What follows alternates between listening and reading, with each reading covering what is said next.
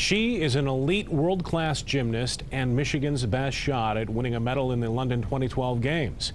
Jordyn Wieber is a name that you're likely to hear a lot when the games begin in 73 days from now. And 24 Hour News 8 Sports Director Jack Doles caught up with the DeWitt native at the Olympic Summit down in Texas. Here's his report.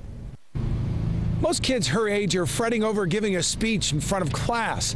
Jordyn Wieber spent this day answering questions for the 500 plus journalists in Dallas to cover the Olympic summit. Weber is America's best bet for a medal in gymnastics. She's only 16.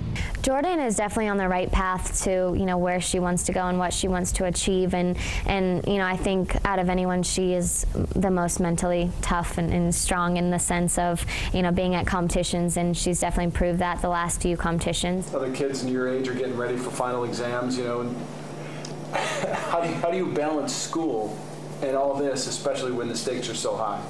It's definitely hard sometimes. I only go to school part-time and then the other half I do online classes, but um, just, you know, while other kids are hanging out on the weekends, I usually have to catch up on homework, so it's definitely a, a lot of sacrifice, but I think it'll all be worth it. Olympic trials for gymnastics are in late June in San Jose, California. At the Olympic Summit in Dallas, Jack Doles, 24 Hour News 8.